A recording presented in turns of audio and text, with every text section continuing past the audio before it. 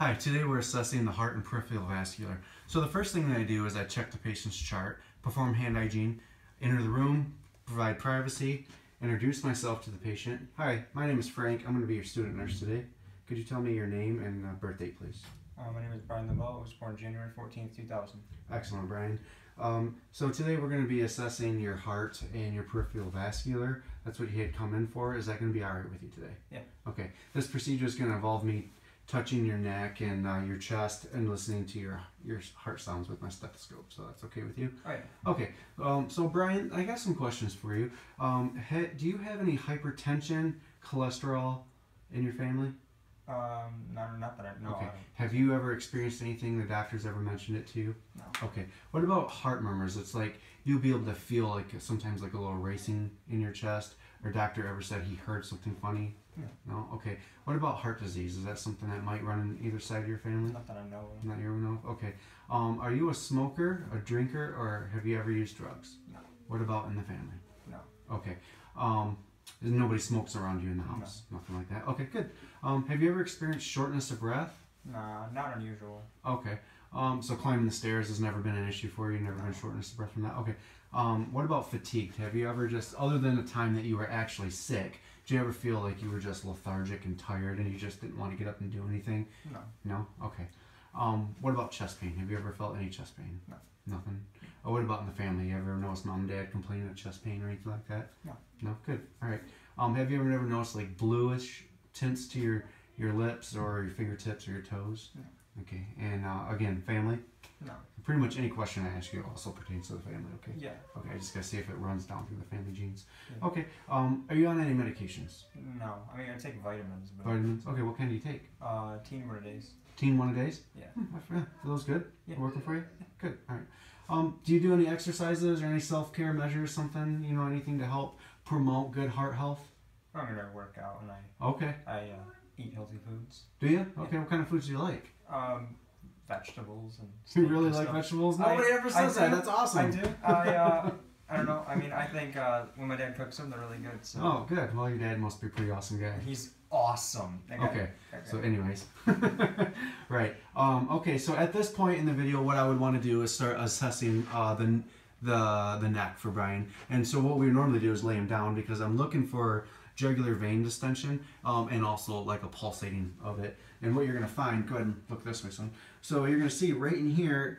Uh, where the jugular vein is, is going to be like pulsating. It'll be really distended and it'll be pretty obvious. So obviously, if you check one side, right, go ahead and turn your head, you're going to want to look on the other side as well. Um, so assuming that we laid him down already, and let's say we did see it, what I'd want to do is sit him up to a 45 degree angle, which he is not at. He's at a 90 degree angle, but we're going to assume it's a 45 for the sake of the video. Go ahead and look straight. Um, so now what we want to, we would want to see if that went away.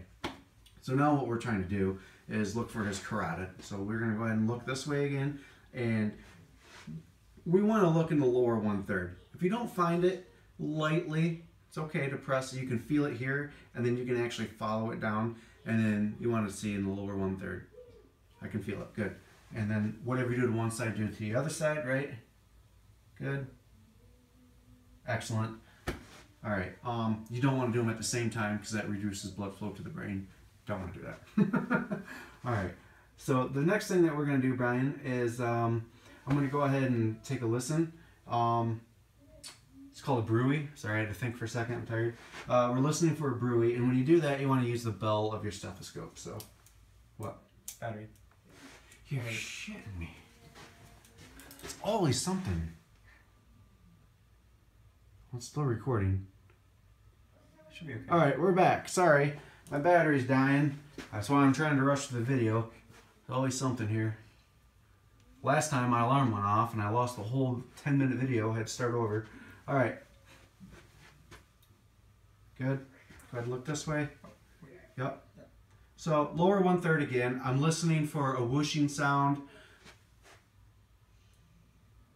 There's nothing there. Um, you'll also hear like a cat purring sound, and you'll feel like a vibration. That's that's the bruit. You're not supposed to feel it, but if you do, it's an indication.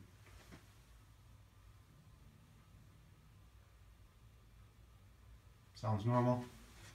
Okay, good. Turn that off. Very good, Brian. All right, so now I'm gonna move on. I'm gonna check his upper extremities, and I'm looking at the skin color. It's appropriate for his ethnicity. I'm feeling with the back of my hand for temperature, moisture, and dryness. Uh, I'm looking for any skin lesions of any kind. Uh, feeling for edema as I press down. I don't see any edema, uh, so that would indicate a zero. It can go up to a four, so if it leaves like a pit when you push there, that's a four plus. Um, what else?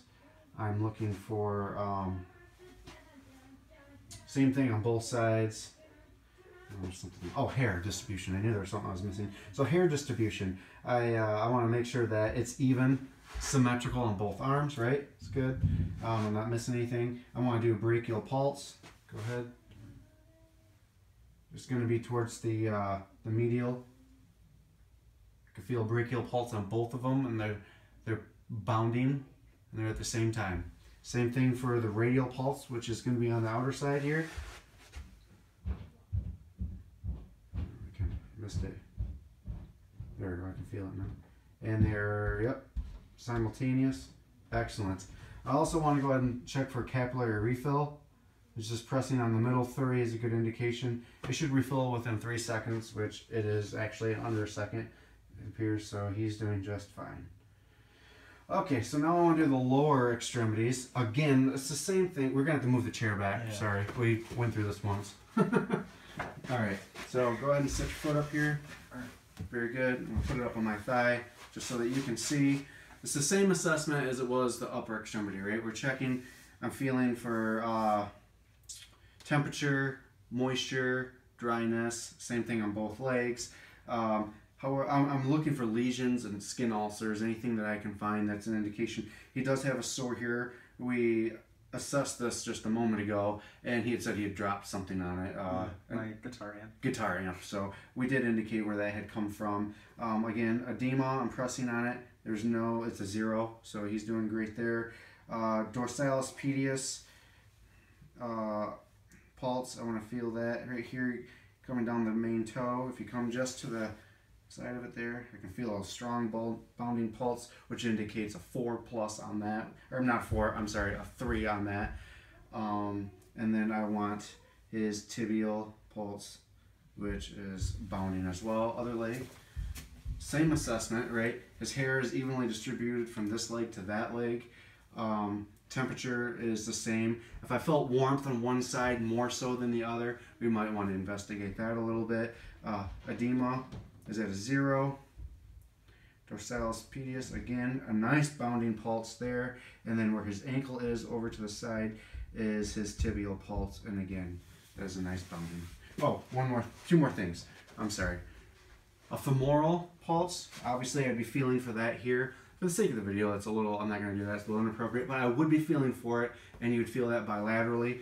Also, um, his popliteal, go ahead and flex, he will, the patient will flex it, and I will, in that, um, uh, popliteal fossa, you're gonna place your fingers and press on that, and you will feel that pulse bilaterally. Flexation, excellent. Good, go ahead and have a seat. I'm gonna check the camera and make sure that we have this. In there. I just want to get this done. Right there. Yep, that's about where my head will be. Very good. Okay, so at this point in time, we're gonna do the anterior chest. And so I will have the patient go ahead and remove his shirt. Go ahead. We give him privacy for this, of course. So, assessing for color, uh, temperature, all the way down, hair distribution. I want to stand here and I want to look for heaves in his chest. I'm not seeing any heaves, which is a good thing, or any lifts, anything like that. Um, if I was, that you know, you might want to investigate that again. You know, anything that's abnormal, if you're thinking it's abnormal, it probably is abnormal. You want to investigate those things. Okay, so we are. I'm making notes on him so that you can see because in the video sometimes things don't show up too well. Um, I'm going to go ahead and point out some things. Supracostal notch. Here's his clavicle bone. I'm going to make marks on him. Like again, I wouldn't do this on, on a patient. This is his um, mid uh, clavicular uh, line right here, right? Because here's his clavicle. So these are like his. I'm just pointing out some landmarks so you know where they are. Okay, so I would start there, and then the first rib cage. Um, here's this second rib cage. You can feel it. So here's a right and a left, Here's this third one. In between each space here is your um, intercostal margins. Here's four, and here is five. And each of these is your R2 is your aortic, uh, L2 is your pulmonic, and then you have Erb's Point, which is number three, um, which is actually kind of in between number three and number four, actually. Uh, and then, so you skip four, and then it'll be five, is the, um, five is, I'm sorry, I'm tired. Um, mid, so your MCL, your, yeah, right here. Actually, it's, it's going to be right here is where we're going to be checking his apical pulse and his uh, mitral valve. So again, we are going to go to his aortic. Going to use the bell.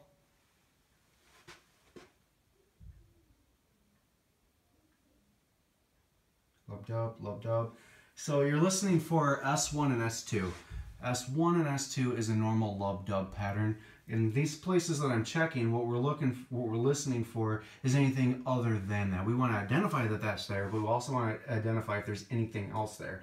So I'll be checking these places. If I hear something that is like an extra beat, it's an indication of an S3 or an S4 noise. Um, also, I'm listening for uh, murmurs, which is like a gallop. Uh, I could also hear there there might be um, um, an S like there's a split S2 is what it's called, and when he inhales, what you're some what you could possibly be hearing is a pulmonic and aortic valves closing simultaneously. And they do it really fast so it's like an extra sound that you hear and it can sound really fast. So i'm just going to shoot through these real fast for the sake of the video. Just taking the battery. is it going again? It's about no no no. It's it's just about to die. So. Oh okay. So here's your r2 aortic. Lub dub lub dub lub dub um, here's my l2 pulmonic okay in between each these are intercostal spaces here Erb's point and the tricuspid, which is L5.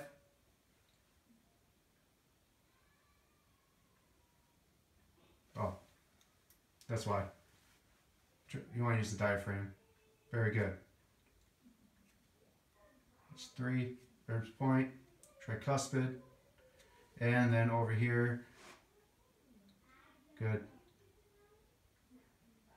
That's your MCL mitral that's your mitral uh, valve and your apex valve. So everything with Brian seems to be fine. Brian, have you got any other concerns that you'd like to address? No. Okay. So I know it's kind of a rush through, but my battery's about to die. So, and that's it.